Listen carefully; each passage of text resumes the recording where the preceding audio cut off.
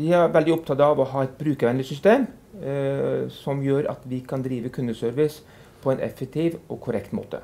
Og vi tror gjennom våre IT-systemer og Collicare sitt eh, kontosystem, så gjør vi at det tror skal bli eh, veldig bra.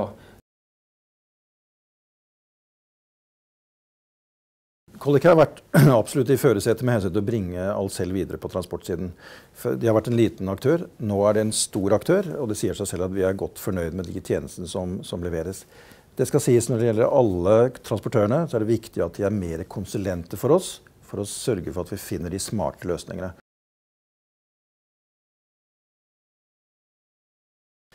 Alcel bruker jo Innight-systemet til Collicare, og det er vi veldig godt fornøyde med. Våre kunder liker det.